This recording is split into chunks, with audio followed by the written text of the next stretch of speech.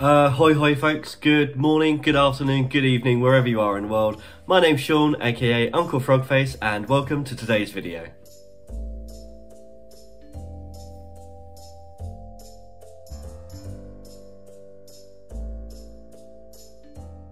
If you're new here, then welcome. If you're not new, then welcome back. So I am super excited today because we are doing something a little bit different.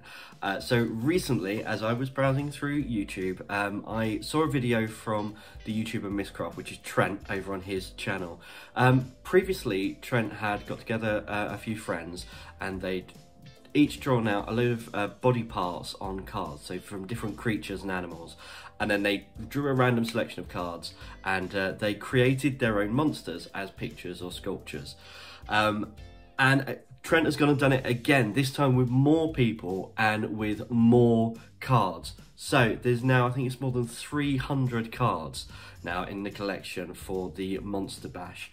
So I sent Trent a message and just said, look, I love these cards. Would you mind if I just, you know, make my own video creating something creepy? You know, I, I'm a horror author. I do love everything creepy. Uh, so I just couldn't pass up the opportunity. And he said, no, of course, that's absolutely fine. So that is what we're doing today. Trent very kindly has put together a uh, video with all of the cards kind of scrolling through them. So what I'm going to do on my iPad is I'm going to play through I'm going to randomly take some screenshots and take seven screenshots and whatever seven parts we end up with, those are going to be our building blocks for our creature. So, here we go, we're going to get started. Okay. And one, two, three, four, five, six, seven. Okay, we'll stop the video. Uh, okay, time to see what we have. Uh, oh, okay. So starting off strong. This is, I think, a spine, spinal cord, um, or some kind of exoskeleton. Uh, okay, number one. Number two, mask. Masks are, are pretty creepy. I'm sure I can do something with that. Number three is that eyes, sunken eyes. Yeah, I think that's that's sunken eyes. Four, uh, a tail. Okay, interesting. Five, a crown. okay, so royal monster, whatever this is. Maybe it's just eating some royalty. Oh, that's a really creepy hand. I like that. Long fingers. And finally, this. I don't know what this is, but I'm sure we will make it work somehow. Okay. I think I should sketch out some ideas. Let's do that this is such rough sketching. Um, I really didn't spend any time on this. I probably had like three minutes between um, choosing my cards and actually sketching something out. So I thought, let's look at the mask. Should I make that the focal point? Where am I going to attach the tail? Do I put the eyes on the mask? I wasn't really feeling it, but I suddenly had this idea. And I think sometimes it's really good to just kind of go with a, a gut instinct. But because I didn't have any arms or legs, I just had hands, why not go for a kind of serpentine creature? And instead of having the face that is natural mask, have it holding a mask with these creepy long fingers. And that was my starting point. And, and I got out my sculpting box and set to work. So straight away, piece of wire, and I'm going to use this as my armature. And it's a nice simple one. Don't have any arms or legs so I can just measure out the rough kind of dimensions that I want. And once I've got that, I just uh, wrap that in some uh, aluminium foil or aluminum foil if you're in the States, just to create my kind of starting base sculpture. And I had no kind of direction really where I was going to go with this other than just see what works. So I've got some Super Sculpey Ultralight. I thought I'd make a really simple uh, kind of hard armature by covering what I have here in some of this really soft marshmallowy clay and baking it and then I have a nice firm but light kind of base to sculpt on top of. Um, and it actually worked out really well. I was quite surprised. Once I'd got everything covered, um, you can see this is the, kind of the tail part, which is really the the whole body. I was able to just bend in the, to the position that I wanted the whole sculpture to be in, um, giving it as much of a kind of twist to the body as I can. And once it's baked, it's nice and hard, and I can start sculpting my first pieces. So I've just taken a bit of liquid Sculpey and this blob of Super Sculpey original, which is uh, the kind of a nice soft uh, clay, and I'm blobbing out the kind of main head area, and here I'm doing the eye part. So we've got these nice sunken eyes. So I'm using a ball stylus to marking where I want the actual socket to be, and then drawing out underneath to give it that that kind of baggy, horrible, sunken eye feel.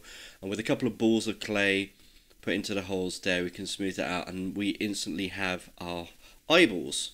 And once we've kind of got those where we want, tiny little thin snakes of clay cut to little little lengths, and we can put in some eyelids. And again, this is really simple. You know, there's, there's nothing too hard here. We're just placing those pieces and then smoothing them in to give us a, a nice kind of droopy, saggy eye look.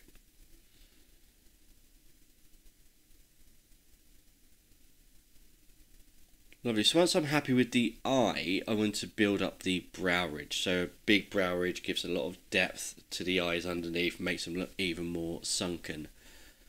Um, so I'm just slowly building up on. I was going to add a bit of texture to the nose. I think most of this ended up being lost later, but you know it's always good to experiment and see what's going to work and what's not. Um, but if nothing, it just added a little bit more volume and dimension to the face. So I was happy with that.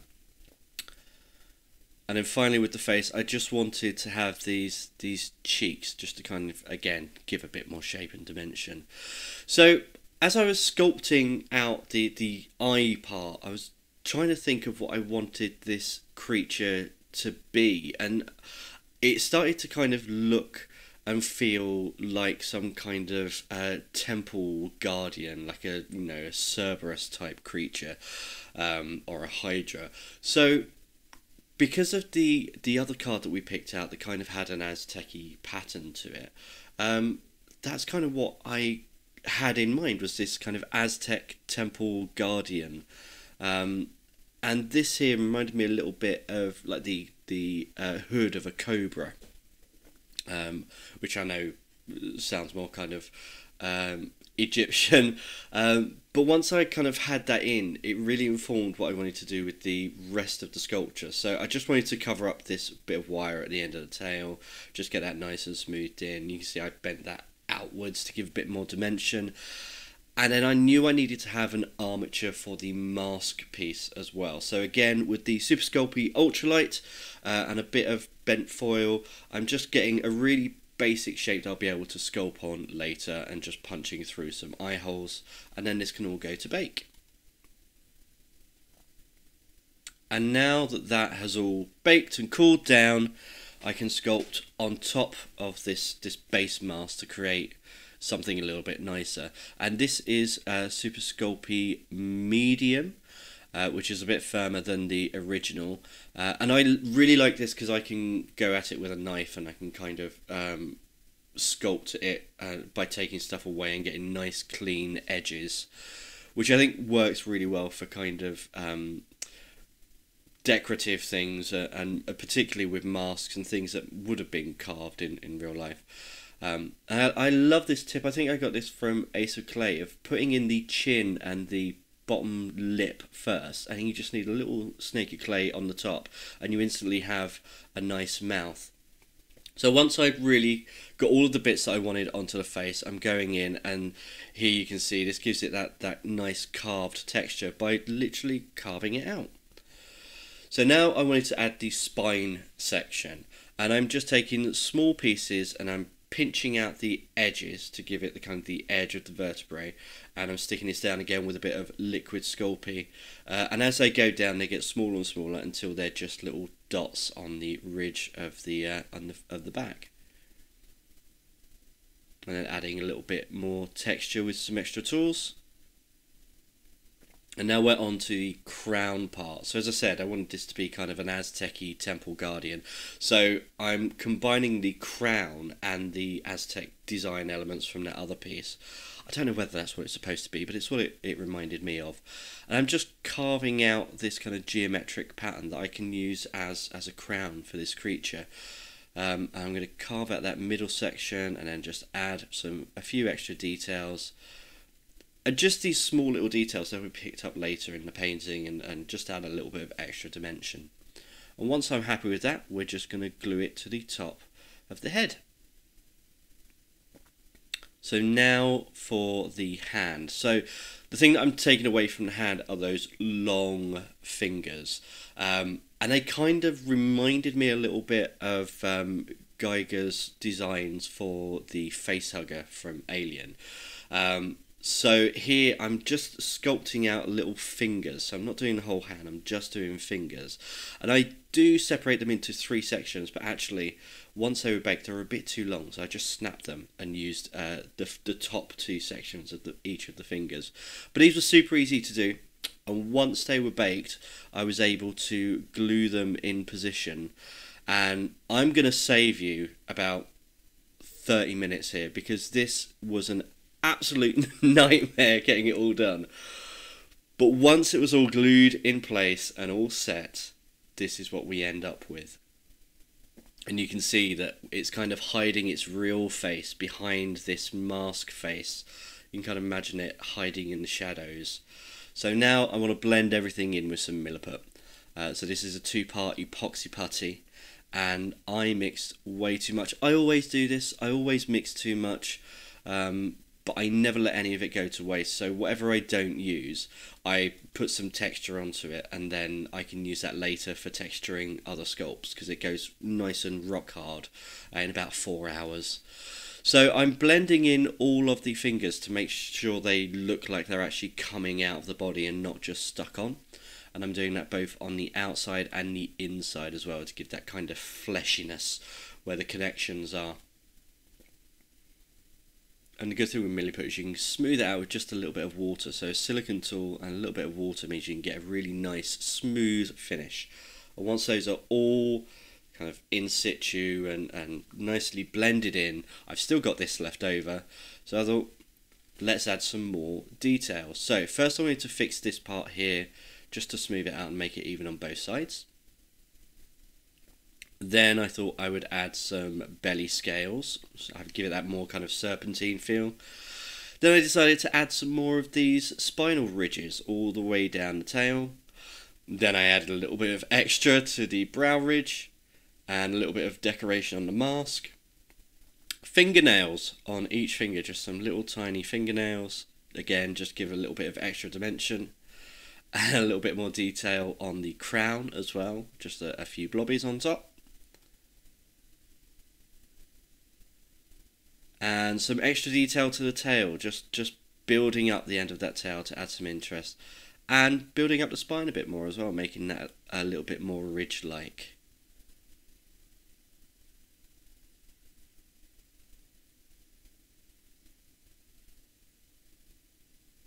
And about four hours later, once all of that had dried, this is what we are left with. So it looks like a hot mess. All of these different coloured clays all kind of smashed together. But this is the fun part. This is where we get to unify all of these bits that we've done and bring it into one cohesive thing. And I'm just doing a base layer of grey acrylic paint here. This is a mid-grey, so it's mostly white with a little bit of black because black overpowers white very quickly.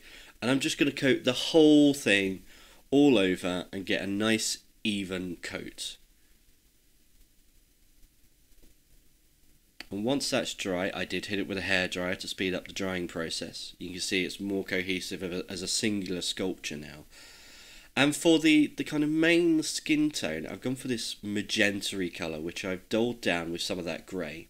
Because otherwise it was a bit too vibrant, a bit too saturated. So I've added some grey to dull that down.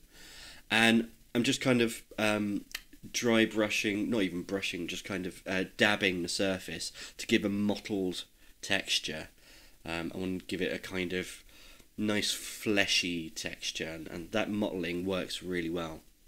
Once I'd gone over with that, I added a little bit of white to that in a separate pan just to bring out some highlights in some areas. And then I did the same again with some black to bring out some shadow areas just to give a little bit of depth to the sculpture and added that in the areas that would receive less light. And then to contrast the magenta, I'm using this sap green, which again I've dulled down with a bit of grey. And all of those kind of connection areas where the flesh would meet another piece of flesh. Think about like the top and the palm of your hand, how they're different colours. Uh, I wanted to use this green colour. And then less kind of washed out, I'm using it to paint our fingernails. And then we've got this area behind the mask, so we didn't have any mouth or anything. So I need to kind of just add a bit of uh, depth and a bit of mystery of, oh, what actually is behind there? Uh, what is that mask covering up? So I've just gone in with a bit of a black wash and let that dry in there just to um, kind of further the shadows there. So we've got our small detail brush to come in with the eyes. We had no real details in the eyes, so I'm just leaving these as black staring eyes and then on the back a bit of yellow ochre and some grey gives us this nice um, bony colour that we can come in have it look like some of these bones are protruding through the skin and once we've got all of those in coming in with a bit of a lighter colour to give it uh, some of the details now we've got these parts which I'm going to colour with this. It's the Stuart Semple's Culture Hustle Goldest Gold Acrylic Paint. I got this to use for a different project, but needs must. I'm going to use it here, and boy was I impressed. This paint goes on super smooth. I did only do one coat, and it probably could have done with two coats, but just with that one coat, it is so shiny, so smooth to use. I was super, super impressed, and I'm actually confident now with the project that I originally got it for that I'm going to get really, really good results. So, big thumbs up for Stuart and the Culture Hustle team. So now I've got those parts in. The last bit was kind of the ferny, frondy parts that were in that Aztec pattern bit. So I've just got some wool here, which is your kind of pound store acrylic yarn, and um, in black, and again this kind of sap green colour, and I've just cut it into little strands. I'm going to glue it all down, and then come in when it's all dry and trim it to a much better length. We are about done.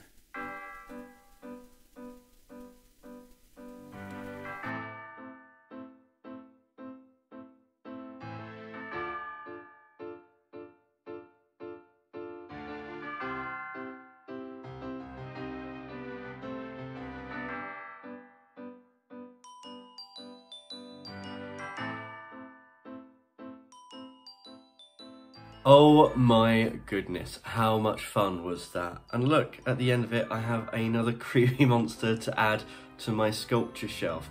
Um, I had so much fun doing this. If you uh, enjoy making creatures, either painting, drawing or sculpting, do go and check out Trent's video and all of the other creators. I will link them down below. That's for the Monster Bash 2 and Monster Bash 1. Um, standout for this is the Stuart Semple Culture Hustle Gold Paint. I'm so in love with that. That just added an extra pop to this that I wasn't expecting. Um, I still don't know what to call this guy. If you have any suggestions for a name, leave a comment down below and tell me what you think. Um, but as always, I hope you enjoyed this video, and until next time, goodbye.